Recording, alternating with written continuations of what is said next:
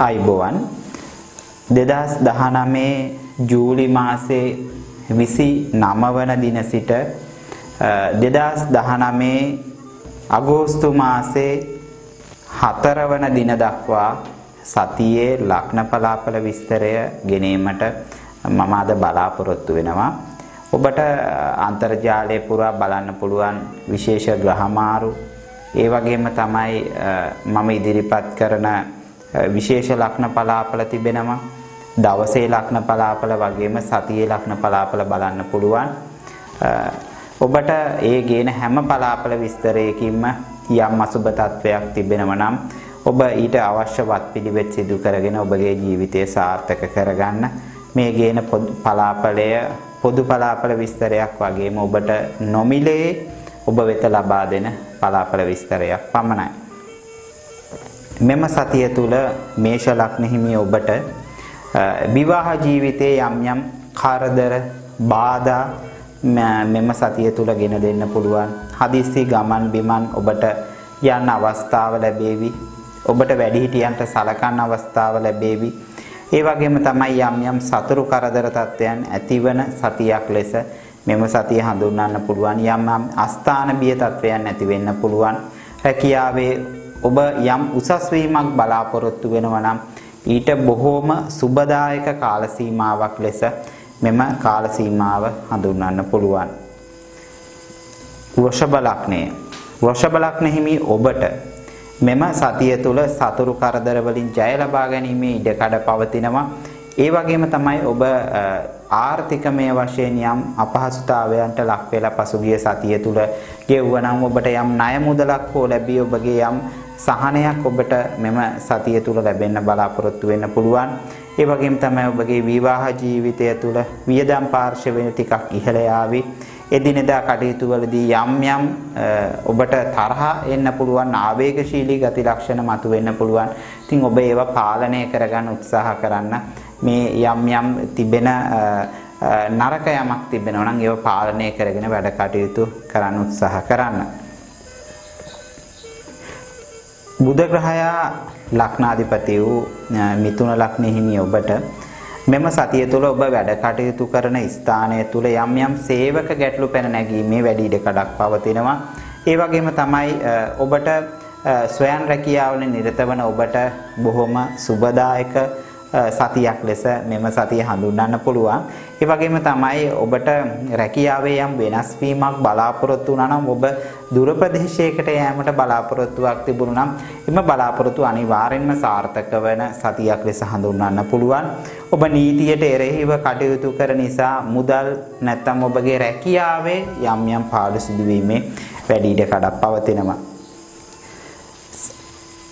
කටක ලක්ෂණ හිමි ඔබට මෙම සතිය තුල ඇස් රෝග මුත්‍රාමාර රෝග තත්ත්වයන් වැඩි වෙන්න පුළුවන්. ඒ වගේම තමයි මෙම සතිය තුල ඔබගේ ශරීර සෞඛ්‍ය පිළිබඳව වැඩි අවධානයකින් යුතුව කටයුතු කරන්න ඔබගේ ආදායම් තත්ත්වයන් තරමක් දුරට වැඩි වීමේ ඉඩකඩ පවතිනවා. ඔබට අලුත් ආදායම් මාර්ග පවා විවෘත වෙන්න පුළුවන්. ඒ වගේම තමයි සමාජ සේවා කටයුතු වලින් පොදු සේවා කටයුතු වල නිරත වන ඔබට විශේෂයෙන්ම ඔබ දේශපාලනය සම්බන්ධව කටයුතු කරන අයෙක් නම් බොහොම සුමයි සමාජ සේවය සම්බන්ධ කටයුතු කරන අයෙක් නම් බොහොම සුබදායක කාල සීමාවක් මෙම සතිය.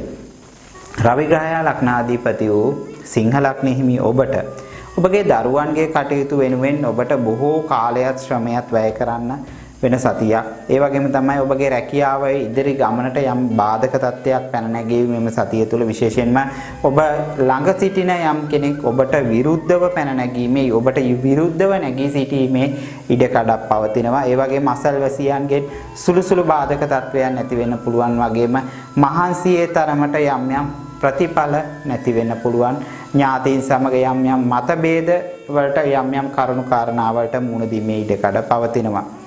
බුධ ග්‍රහයා ලක්නාධිපති වූ කන්‍යා ලග්නයේ හිමි ඔබට මෙම සතිය තුළ ධනහානි ඇති වෙන සතියක් ලෙස හඳුන්වන්න පුළුවන්. ඔබ මුදල් පරිහරණයේදී බොහෝම ප්‍රවේශම් සහගතව කටයුතු කරන්න. ඒ වගේම තමයි අලුතින් නිවාස ඉඩකඩම් යාන වාහන සම්බන්ධව බලාපොරොත්තු තිබෙන අයට බොහෝම සුබදායක සතියක්. ඒ වගේම තමයි ඔබගේ සහකරුවාගෙන් සහකාරියගෙන් ඔබට ධනය ලැබීමේ වාසනා ගුණයක් තිබෙන සතියක් වගේම නමුත් ඔබට යම් යම් ඔබගේ වචනයෙන් වැරදීම් සිදු වෙන්න පුළුවන් කාල සීමාවක් ලෙස හඳුන්වන්න පුළුවන්.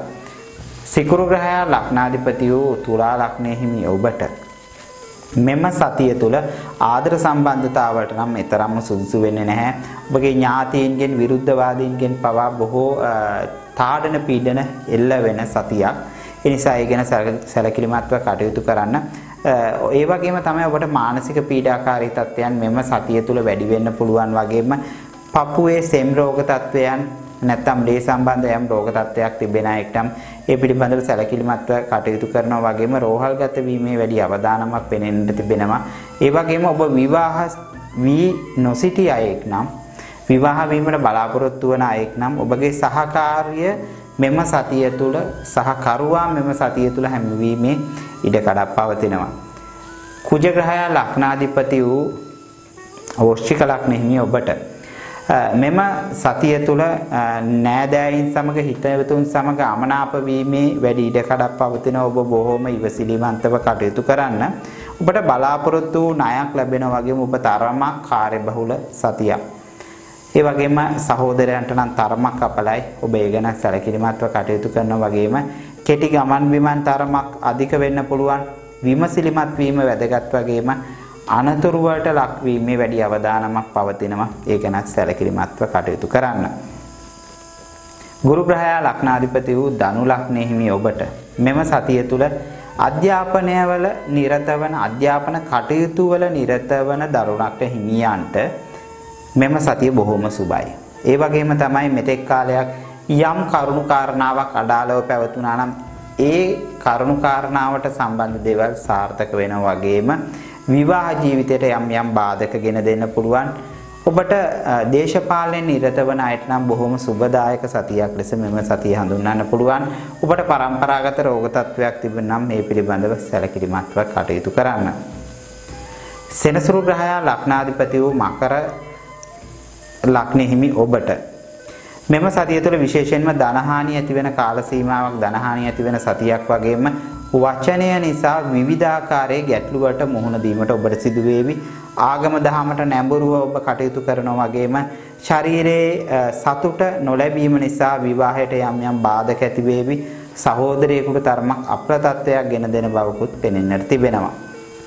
සෙනසුරු ග්‍රහය ලග්නාධිපති වූ කුම්භ ලග්නෙහිමි ඔබට මෙම සතිය තුළ ඔබගේ ආදායම් තත්ත්වය තරමක් පහත වැටීමේ යම් යම් කරුණු කාරණා ගෙන දේවි. ඒ වගේම තමයි හදිස්සි ගමන් බිමන් යෑමට නිතර ඔබට අවස්ථාවන් සැලසෙනවා වගේම ඇස් වහ දෝෂ කට වහ දෝෂ ඇතිවීමේ ප්‍රවණතාවයක් තිබෙනවා. ඒ නිසා ඊට අවශ්‍ය යම් යම් වත් පිළිවෙත් සිදු කරගන්න එයින් ඔබට ජීවිතය සාර්ථක කරගන්න මෙම් සතිය අතිවාරමක් කරගන්න පුළුවන් ෆවුන්ඩේෂන් එකක් කරගන්න පුළුවන්. ඔබ රෙදිපිඩි ආශ්‍රිත යම් රැකියාවක් කරන අයෙක් නම් තරමක් සැලකිලිමත්ව කටයුතු කරන්න ඔබට යම් යම් පාඩු සිදු වෙන්න පුළුවන්. ඒ වගේම තමයි ඔබ මැණික් කර්මාන්තය ආශ්‍රිත රැකියාවක් කරන අයෙක් නම් ඔබට බොහෝම සුබදායක ප්‍රතිඵල සුබදායක ආරංචි ලැබෙන සතියක් ලෙස හඳුන්වන්න පුළුවන්. ගුරු ග්‍රහයා ලග්නාධිපති වූ මීන ලග්නෙහිමි ඔබට ඔබගේ පවුලේ හිතවතෙකුට ඥාතියෙකුට යම් යම් අසනීප තත්වයන් මතුවෙන්න පුළුවන්. ඒ වගේම තමයි ඔබට අලුතින් ආරම්භන කටයුතු මෙන් යම් දෙයක් අලුතෙන් ආරම්භ කිරීමට බලාපොරොත්තු වෙනවා නම් එම කටයුතු තරමක් අසාර්ථක වේ. ඒ ගැන සැලකිලිමත්ව කටයුතු කරනවා වගේම ඔබගේ ශරීර සෞඛ්‍ය පවා පිරිහීමේ වැඩි ඉඩකඩක් පවතිනවා. ඒ වගේම දරුවන්ගේ කටයුතු වෙනුවෙන් ඔබ බොහෝ කාලයක් ශ්‍රමයක් වැය කරන බවක් පෙනෙන්නට තිබෙනවා. ඒ වගේම තමයි ඔබ ව්‍යාපාර කටයුතු කරන අයෙක් නම් පුද්ගලික ව්‍යාපාර කටයුතු සඳහා බොහෝම සුබයි. ඔබ යම් කෙනෙක් සමග සම්බන්ධ වී කටයුතු කරන අයෙක් නම් තරමක් සැලකිලිමත් කටයුතු කරන ඔබ දෙදෙනාටම යම් පාඩු සිදු වෙන්න පුළුවන් මෙම සතිය තුල. මම අද ඔබට ගෙනාවේ සමස්තයක් විදියට පොදු පලාපල විස්තරයක් පමණයි. පුද්ගලිකව ඔබගේ කේන්ද්‍ර සටහන තුල තිබෙන ග්‍රහ තත්වය මත මෙම සතියේ පලාපල විස්තරය වෙනස් වීමේ වැඩි ඉඩකඩක් පවතිනවා. ඒ වගේම තමයි ඔබ මතක තබා ගන්න විශේෂ ග්‍රහමාරු ඒ වගේම තමයි මමගේ ජ්‍යොතිෂයට අනුව ගෙනෙන සෑම වැඩසටහනක්ම ඔබ නරඹලා යම් මධ්‍යස්ථ මතයකට එන්න මේ මේන් යම් අපලයක් තිබෙනවා නම් යම් ඔබට යම්